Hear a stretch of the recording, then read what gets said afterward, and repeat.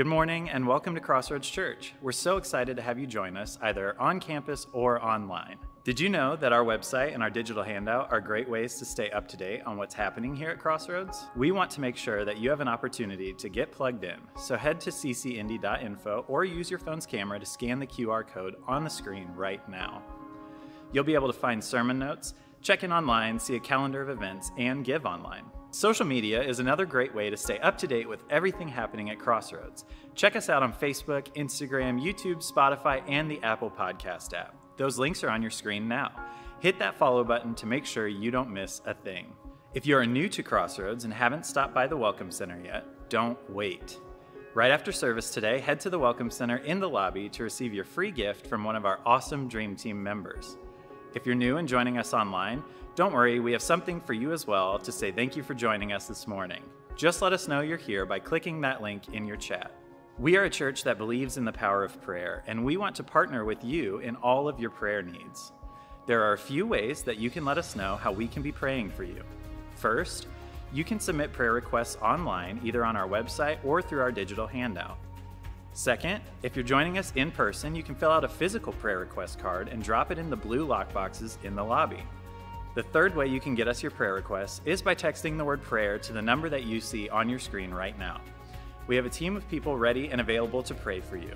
The website, digital handout, text to pray, and the prayer cards are also where you can let us know how God is answering your prayers. We love to hear about how God is working in your life. At Crossroads, we love to celebrate next steps, and water baptism is one of those next steps. If you feel like baptism is the next step for you to take on your faith journey, or you're simply interested in what baptism is all about, please join us for baptism orientation happening immediately after both services in room 115. A new season for life groups is right around the corner, and we need you. If you're interested in or have interest in potentially leading a life group, now is the time to partner with Crossroads. Think about how you came to follow Jesus and how you have grown in your faith. You are who you are today because someone knew you by name and invested in you. Leading a life group gives you that opportunity to invest and perhaps make that same sort of impact in someone else's life. You may have heard us say that thriving people connect, and that happens when you sign up today at the link on your screen. Something else that we're excited about in the month of August is the launch of 21 Days of Prayer. From August 9th through the 29th, we will be intentionally seeking God every day in prayer as we believe for Him to move in powerful ways. If you sense God has more for your life, 21 Days of Prayer is a great place to start believing Him for all that He has for you. During these 21 days, we will also have two prayer nights and one night of worship. The prayer nights are August 11th and 18th at 7 p.m., and night of worship is August 25th at 7 p.m. As we practice seeking God first over these 21 days, I believe He will move on our behalf like never before, and that we will start to see the power of prayer impact relationships, work, family, and every area of our lives. Make sure you check out our website, which is where you can find important dates, a prayer guide, and much more. Finally, as we transition into a time of generosity, I want to highlight a passage from the book of Leviticus. In Leviticus 27:30, we read, "A tithe of everything from the land, whether grain from the soil or fruit from the trees, belongs to the Lord. It is holy to the Lord." Now, while many of us are not harvesting grain or fruit to provide for our needs, the principle mentioned in this passage still applies to us today. In whatever way we generate income, the principle is that God must be honored with a tenth of it, not because he needs it, but because it belongs to him in the first place. In doing this, we acknowledge that God is the actual owner and provider of everything that we have, and we are more like tenants, fully dependent on Him. We are simply returning to Him what was His to begin with as an act of obedience and thankfulness. And that's all I have for you this morning. Thanks again for joining us in person or online, and have a great rest of your Sunday.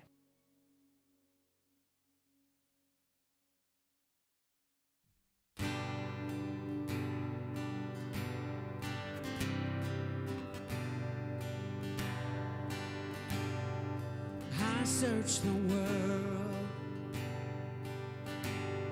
but he couldn't fill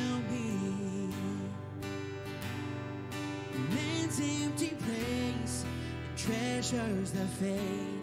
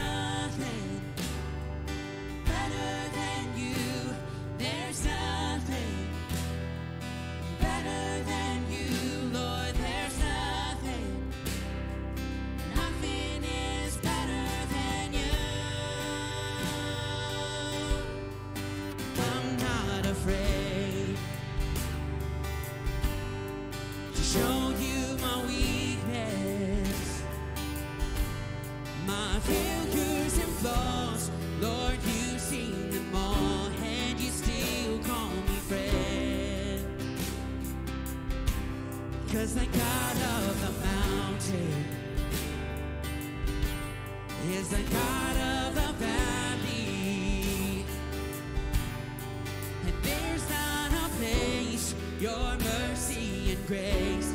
Won't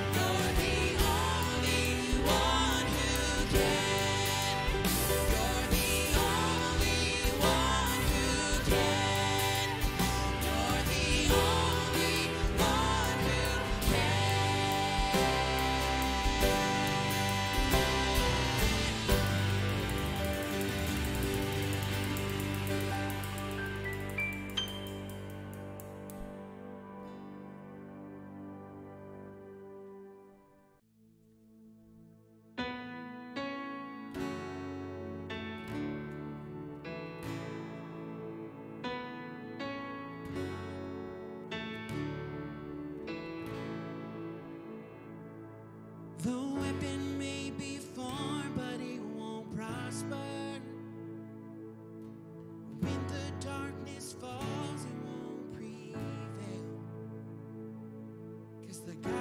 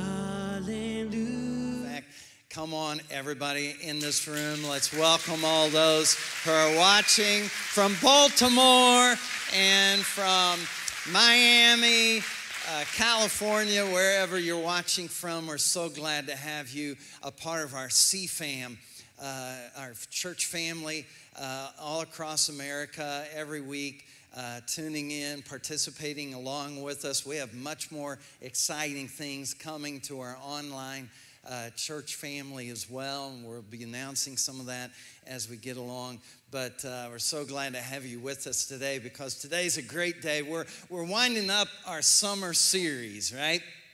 I wore my, my summer shirt uh, today, all right, because uh, we are winding up our summer series. It's been fun. We've had ice cream, we've had food trucks, we've, we've had icy stuff, we, we, had all, we've had fun, right?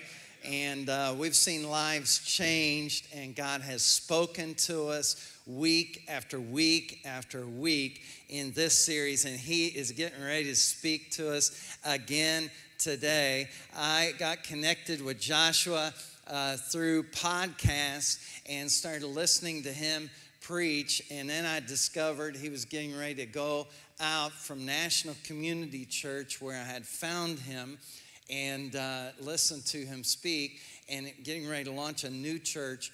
And uh, I have a heart for church planters after planting two churches myself. And so uh, I just feel like God is going to use Joshua in this house today to speak to this church family and in anticipation of what God wants to say to you. Will you make my friend Joshua Symonette welcome as he comes to share with us?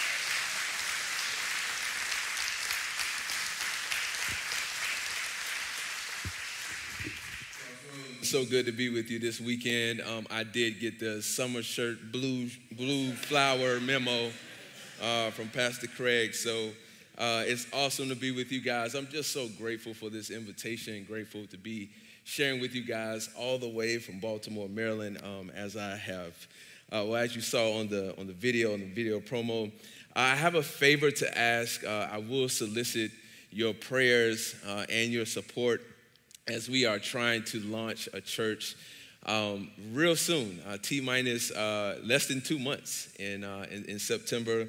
And so we, we need all the prayers and support uh, that we can get. You can follow us on, online, um, primarily through Instagram at Hope Be More. Uh, if you don't mind, that would be great. And then, hey, do me a favor, spread the word. Tell people. Um, you know, I just post it or, or share it or something. Hey, if you're ever in Baltimore, then come hang out with us too. Um, we love love to host you as, as, well. Hey, if you have a Bible this week, I'd love for you to meet me in Nehemiah chapter number one, uh, or an app, or whatever it is that you use.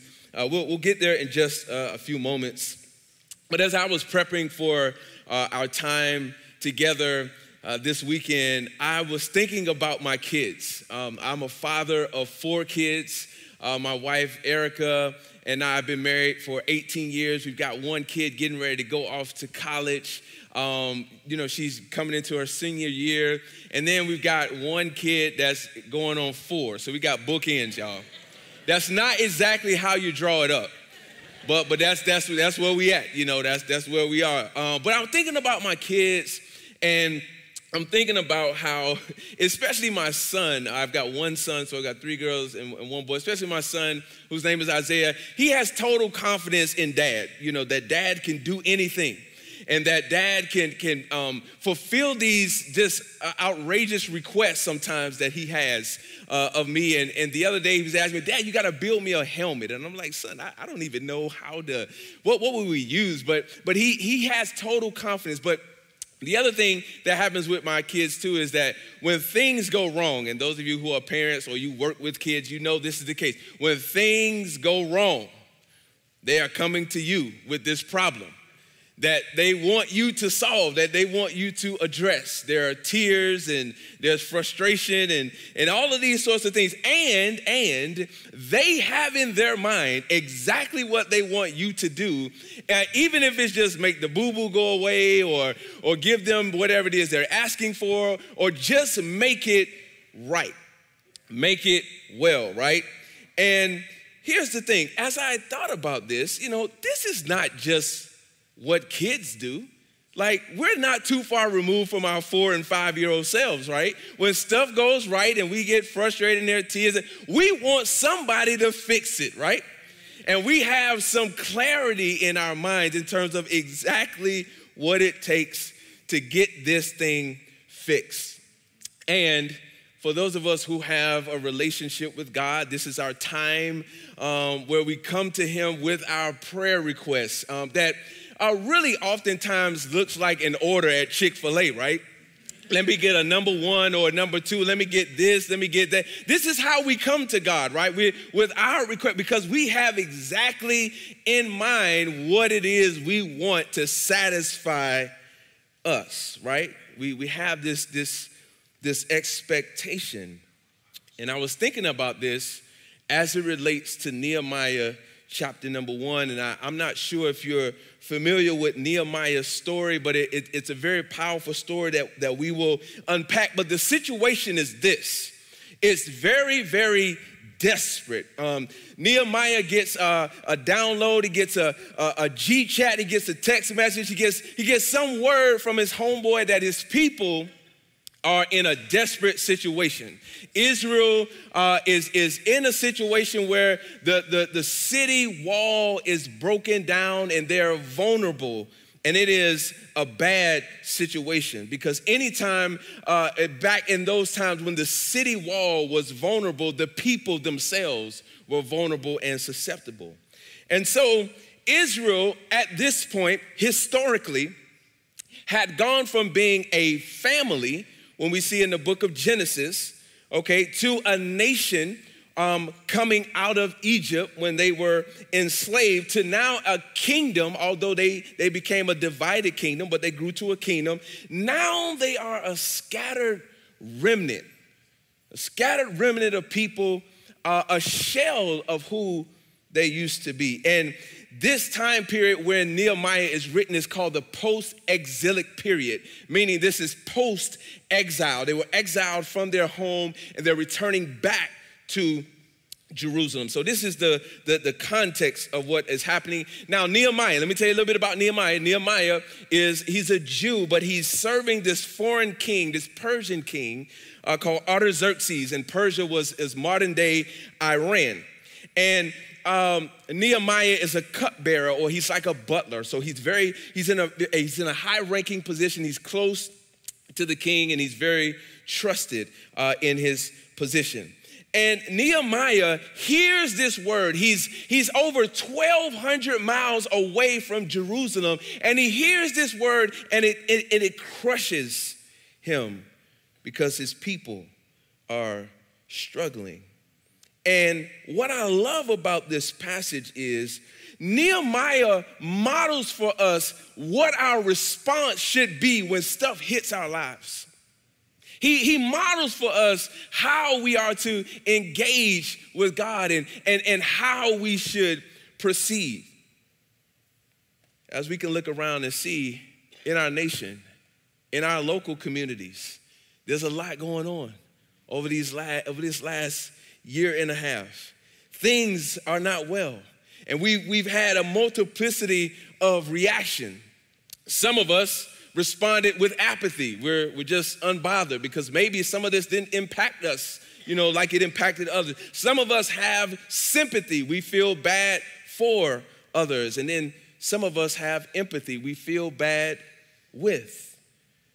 And what I want to do for the next few moments is I just want to zoom in and I want to unpack what we see here in Nehemiah chapter number one. And we'll start with verse number four. And I think we're going to pop it up on the screen for you. I'm reading from the CSB version, which may be a little bit different from a version that you're used to. So if you would just follow along with me. Here is, uh, here are the words of Nehemiah. He says, When I heard these words, starting in verse number four, I sat down and I wept.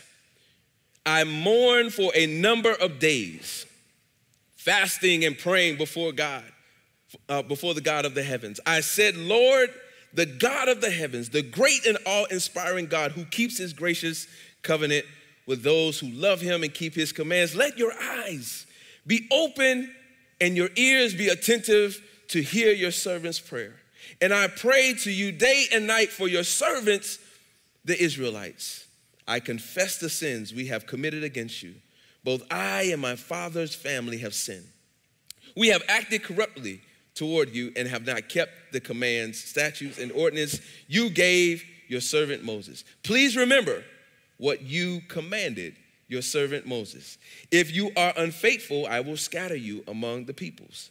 But if you return to me and carefully observe my commands, even though your exiles were banished to the farthest horizon, I will gather them from there and bring them to the place where I have chose to have my name dwell. They are your servants and your people. You redeemed them from your great power and strong hand. Please, Lord, let your ear be attentive to the prayer of your servant to and to that of your servants who delight to revere your name. Give your servant success today and grant him compassion in the presence of this man. If I had to tag this uh, text with a title this weekend, it would be The Plan Before the Plan. The plan before the plan. And I'm going to unpack what I mean by that uh, as we go along. Right off the bat here, we see three things that Nehemiah does. Right in verse 4, it says that he wept or he lamented, he fasted, and he prayed, which is interesting to me because when stuff hits our lives, we normally do what? Jump into action.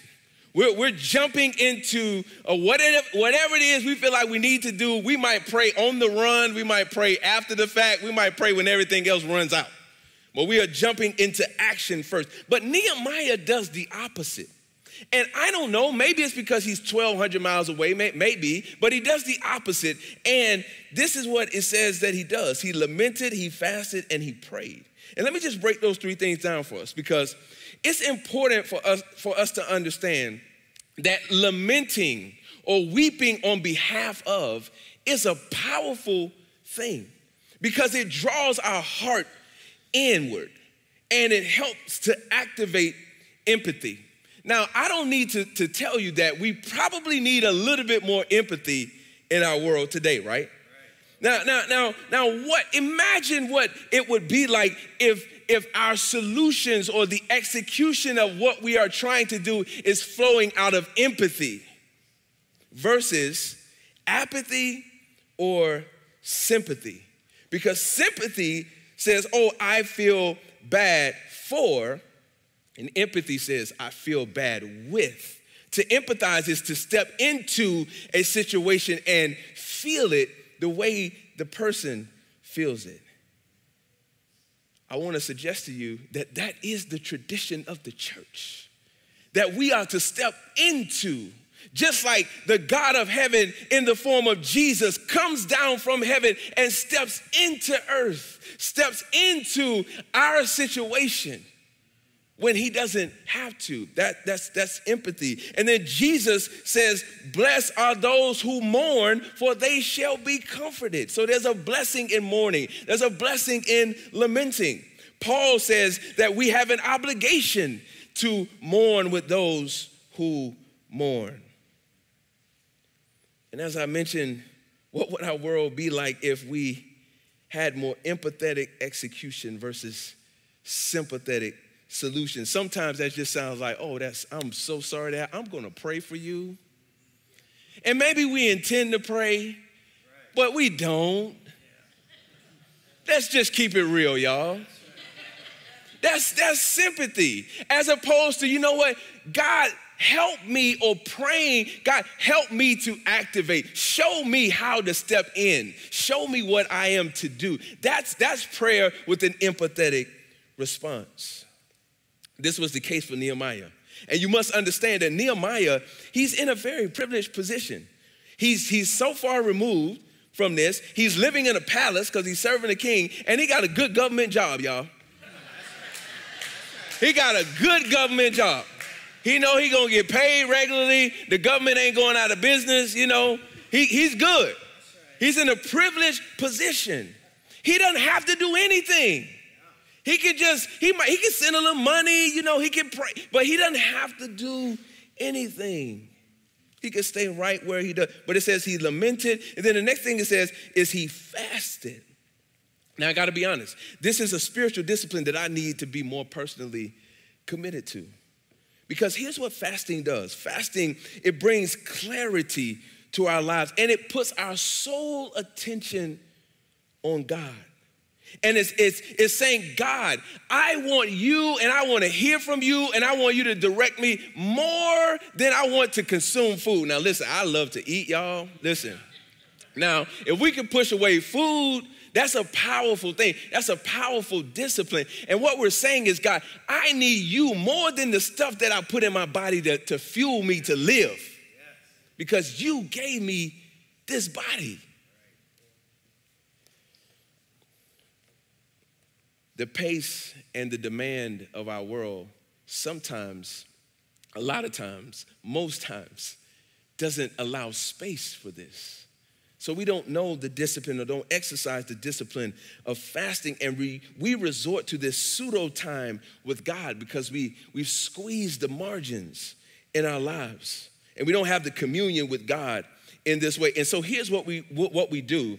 We resort to the pursuit or the prioritization of resources instead of the source. They're called resources for a reason because they come from a source and God is the source.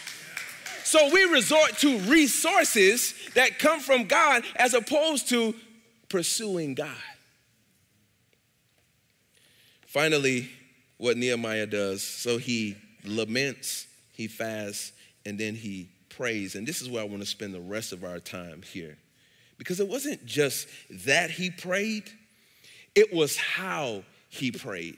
And, and, I'm not suggesting to us that we don't pray, but I am suggesting that maybe we're not praying with the right mindset and the right focus. And what Nehemiah does for us is he unpacks for us the right kind of mindset and the right kind of focus. So, so let's just listen to how Nehemiah prayed. If you're taking notes, this, this would be my first point. Point, point number one Nehemiah confessed the sins of Israel and his in his own lament all right? So oftentimes when stuff hits our lives we are usually not saying now god i know i might have contributed to this. I know that i'm probably no that's not what we start. God you need to fix this thing. This thing is bothering this is a problem. Like you you need to address it. Well, that's not our starting point usually is confession now, this might be where um, our Catholic brothers and sisters might have it right, you know, where they have this, this, this ritual of confession. But, but, but Nehemiah confesses not only the sins of Israel, but his own. And this is why this is significant because, again, like I said, we tend to focus on the problem, but Nehemiah didn't directly contribute to what was happening with Israel. Israel was in the place that it was in because they had sinned, they had gone in a different direction to what God had called them to. That wasn't Nehemiah's fault, but Nehemiah realized that he was also complicit in some of the things that he has done as well, including what his family had contributed. He knows that even though he has not contributed, he is not completely innocent in his own life. And, and what Nehemiah is showing us without explicitly saying is that he recognizes that there's some things in him maybe that that is not right. And so he's not coming to god as one who is righteous but one who is unrighteous that needs uh, uh, a grace as well as he seeks god's hand.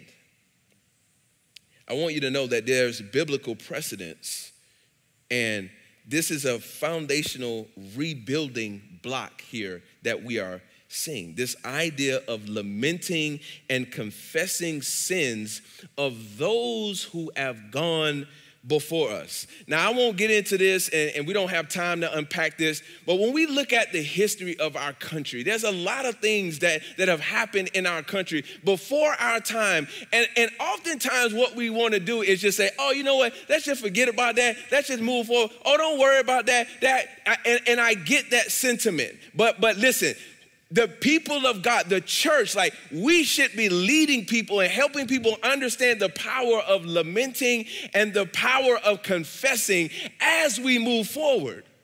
It has a healing power to acknowledge that these things have happened as we, it's not holding us back, it's helping us move forward because we're healing. Now, listen, just in case you want to come for me and, and you, you, you got a different opinion, this is why we go to counseling, right? right? I'm just saying right? You listen, if your counselor just say, oh, listen, I, I know that happened to you when you were a kid, don't worry about that. You're 40 now.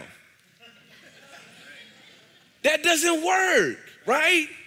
So, so why would we accept this in counseling, but we wouldn't accept this in other aspects of our life?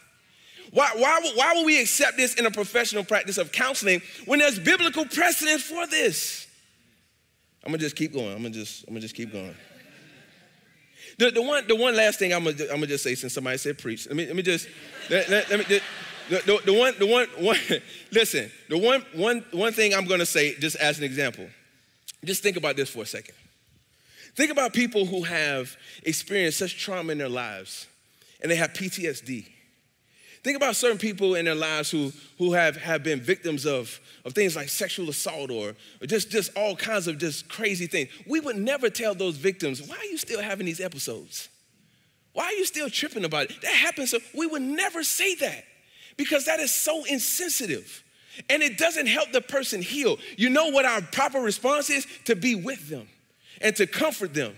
And guess what? For however long it takes one year, two year, 10 years for however long it takes. This is, this is a big part of this overall point of confession.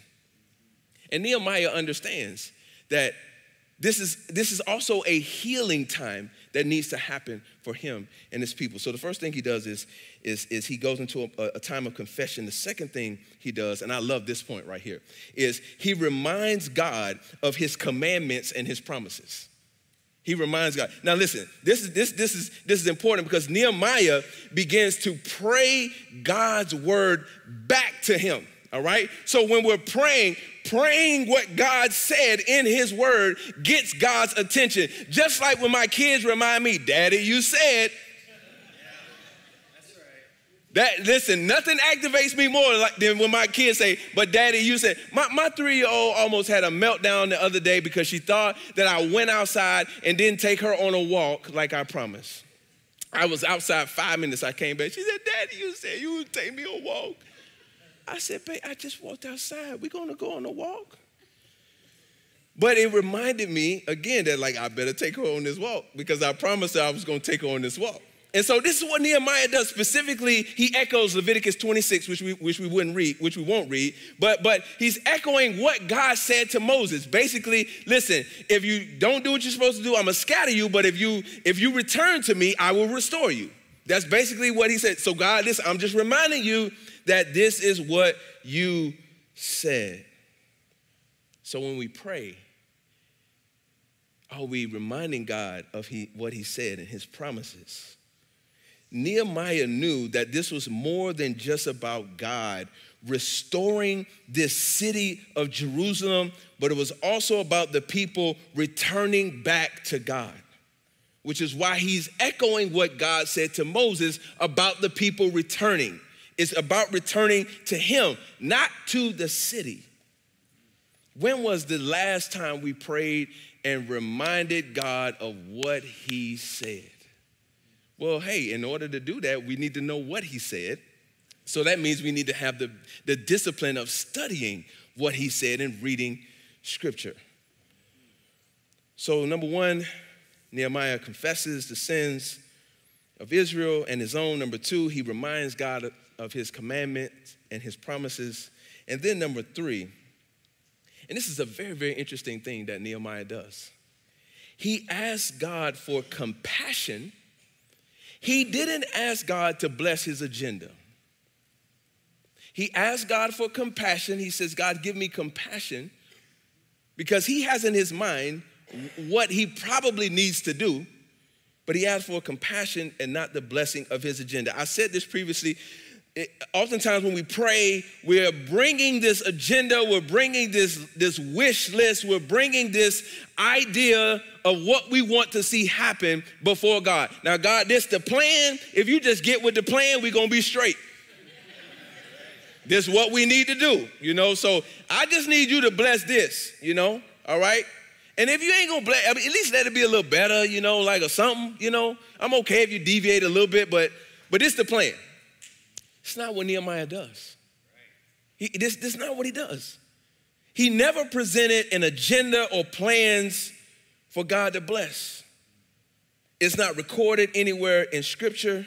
We don't read that he even had a strategy. Maybe he had some thoughts in mind. but he asked God generally for success and compassion. And what this shows is that Nehemiah prioritizes God's heart and will above his own. This is what it shows us. And he wanted God to go before him with, with whatever he was going to do or he had in mind. And let me just tell you, just spoiler alert, okay? So at the end of Nehemiah 1, Nehemiah says, Grant me compassion before this man. He's talking about King Artaxerxes. So he knows at some point that the word is going to come out, something is going to come up as he's in the presence of the king. And so he asks God basically to give him favor in, with the man who has the power. Now, listen, I just got to back up because you need to understand this. So, so historically, now um, the, the, the, walls have been broken down, okay, and um, there was a rebuilding that was happening before, and it was shut down before. This was in the time of Ezra, so you need to go back one book in the Bible into Ezra and see what was happening. It was shut down. Guess who shut it down? Artaxerxes. Artaxerxes was the one who shut it down.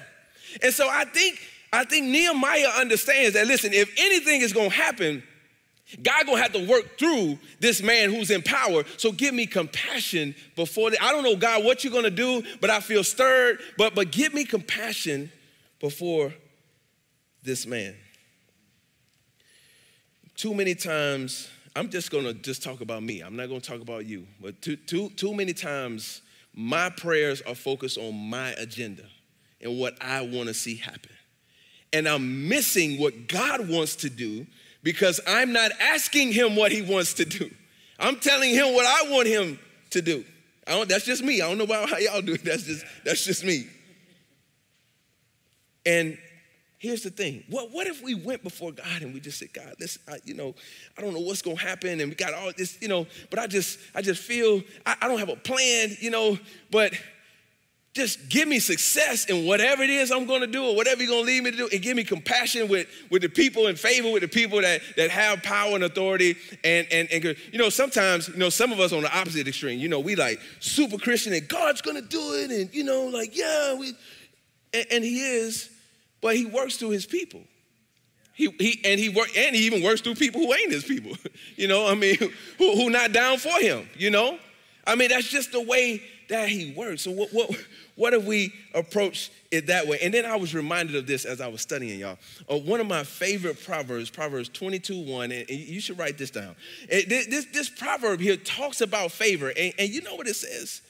It, it says here that favor is better than money. Now, listen, y'all know we love our money. Don't mess with our money. Don't talk about our money. Listen, uh, favor is better than money. Now, listen, Nehemiah, he has to have money. He has to have a, a, a, situation where he has access to things, but he realizes that, listen, he needs God's favor more than he needs the stuff he has access to. So let me see if I can land the plane for us like this this weekend. What we see in Nehemiah 1 is this this bad news, all right? Nehemiah's people I mean, they broke, busted, disgusted. I mean, they just got a whole bunch of stuff going on. The nation is in ruin. And it's obvious that Nehemiah is deeply disturbed by this. And you know, it reminds me of this powerful story that happened in 1965. There's a woman by the name of Viola Liuzzo. She was, uh, at the time in 1965, she was a wife 39 year old mom of five from Detroit, Michigan. And Viola was deeply moved by racial tensions that were happening in the country. A big part of that uh, had to do with uh, some of her upbringing in the South and her seeing uh, segregation and Jim Crow and all of those sorts of things. And then once she moved north to Detroit, she remained active uh, even in organizations like the NAACP. But but but but here's the thing that, that was just so interesting to me. Stuff is popping off in 1965, and, and there's this push towards uh, voter rights for, for blacks and Dr. Martin Luther King and others are, are going to lead this big march. And, and so Viola is all the way in Detroit, Michigan. She's uh, removed from the volatility of what's happening in the South. 700 plus miles, over a 10 hour drive if she's gonna drive in her car. And, and guess what? Her husband warned her and he told her, he said, Viola, this is not your fight. And she said, honey, you're right. It's everybody's fight. And Viola's daughter said this She said, Mom believed Jesus when he said, The suffering and the needy are our people. So she left the comfort of Detroit, Michigan, to drive all the way down to Alabama, and she ultimately sacrificed her life. She died. And it was said that Viola is the only white woman to die in the civil rights movement. I'm reminded, though, by the words of her husband that really reverberate with me because his concern for his wife was absolutely legitimate and practical. He knew it was volatile. He knew he wanted her to be safe. He was trying to protect her. But it indicates for me the powerful influence of comfort and control we desire in our life when stuff breaks out. How many times have we seen things that have stirred us? How many times have we seen things that have bothered us and we have resorted to staying in our comfortable place or trying to be active in the place of comfort?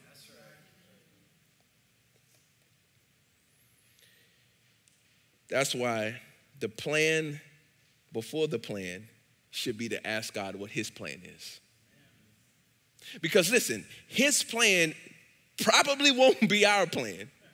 I mean, the, the scriptures tell us that his ways are not our ways, his thoughts are not our thoughts. And so, if the plan before the plan is to ask God his plan, then we're open to whatever he wants to do, which is likely going to lead us out of our seat of comfort, out of our place of comfort, out of our comfort zone.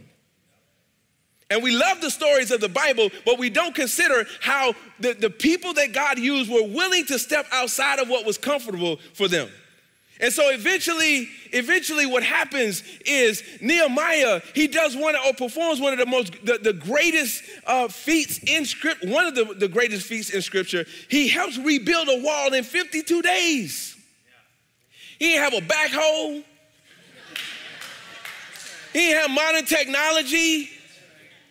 Hey, listen, we don't even, it doesn't even tell us that he was a civil engineer, that, that he was a home builder, that he had carpentry skills. It didn't tell us any of that. I mean, he's serving juice to the king, y'all.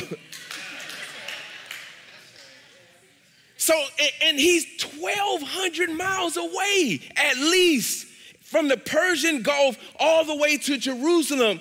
But he's stirred. And the plan before the plan is to pray God, what do you want to do? And he eventually leaves from that place. Artaxerxes gives him all of the things he needs to go on the trip, all of the supplies, all of the paperwork to travel. And God blesses this miracle mission.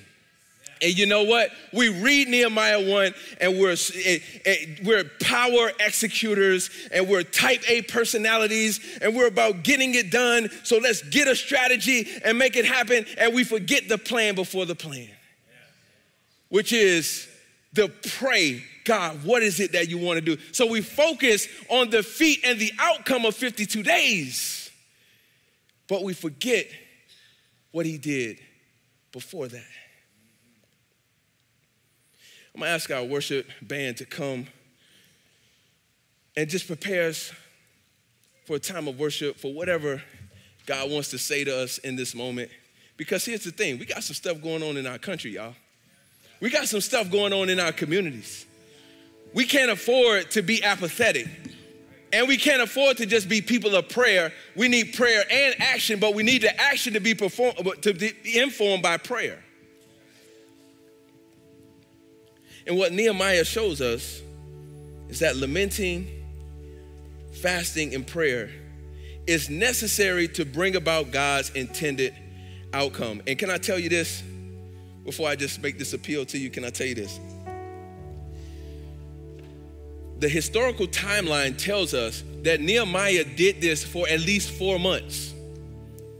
Y'all, we struggling with four minutes. He did this for four months.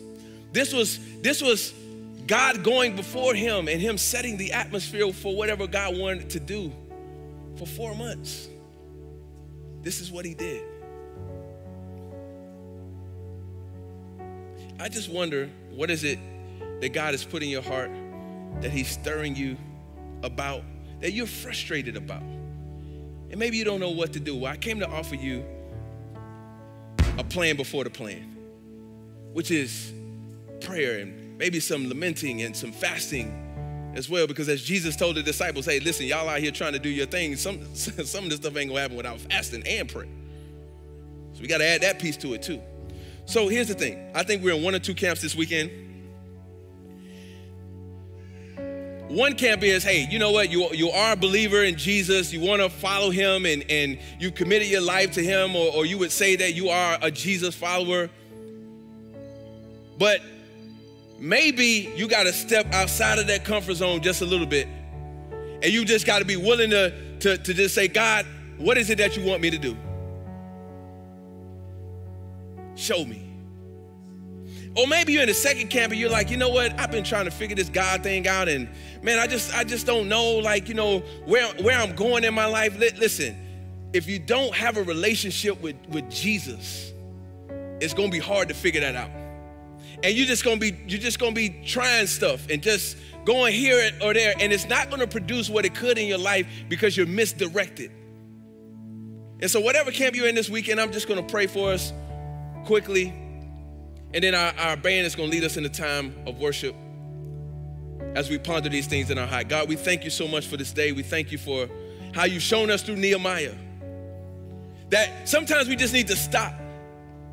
And the things that are stirring in our hearts, we just need to open up our hands and we need to say, God, what do you want to say to us? What do you want to do?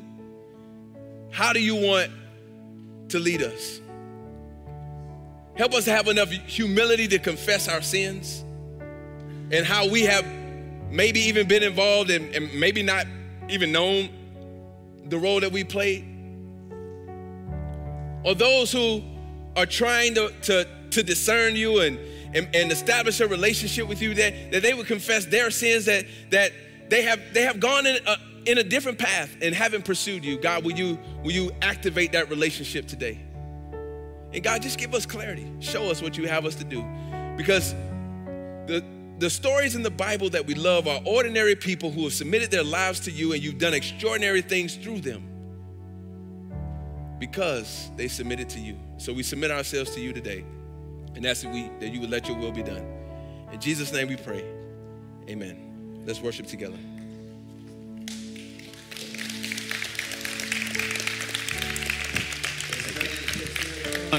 Tell Joshua just how much that word meant to you today. Wow. So good. So good. Listen, some of you, you need to hear it again. So this week, you, you should play it back again because uh, you, you maybe were like me, you couldn't write fast enough. Sometimes the Holy Spirit was saying some things. And uh, also, uh, you need to share it with other people, okay? Because you just don't know who wasn't here or who wasn't watching already uh, some of your friends. And when you share it, then it ministers to them. Uh, we're getting ready to worship, but I want us to just bow our heads one more time. And if you're in this room, and if you say, you know, Craig, I, I'm away from God, and I need to make a commitment today before I leave here. I know something's stirring.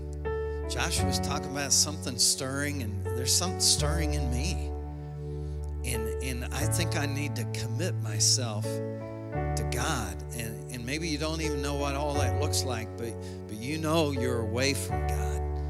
Today you want to commit to Him. Will you just raise your hand and say, Yeah, that's me today? Yeah, just raise it up. All right. Let me let me pray with those who raised a hand and let, let's just have everybody pray it so that those around will have courage to pray it out loud as well. Just say, Dear Heavenly Father, Thank you for sending Jesus to die on the cross for me, to pay for my sin. I believe his death paid for every sin that I ever have done and ever will do.